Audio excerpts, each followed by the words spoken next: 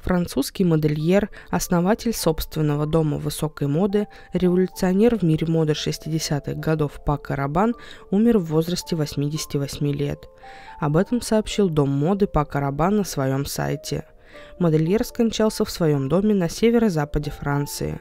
О причинах смерти ничего не известно. Пак Рабан родился 18 февраля 1934 года в Испании.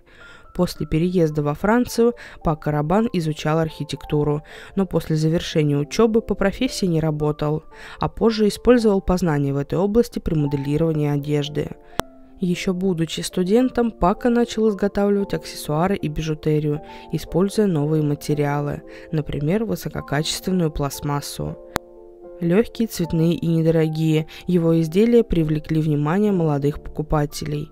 Первую известность Пака Рабан приобрел в 60-е годы. В 1965 году было продано около 20 тысяч изделий от Пака Рабана. Свою первую коллекцию мастер представил в 1966 году в Париже. Одежда была выполнена из альтернативных материалов – пластика, бумаги, металла.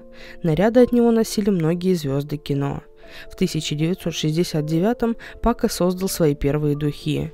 Модельер отошел от дел в 1999 году, после чего редко принимал участие в публичных мероприятиях.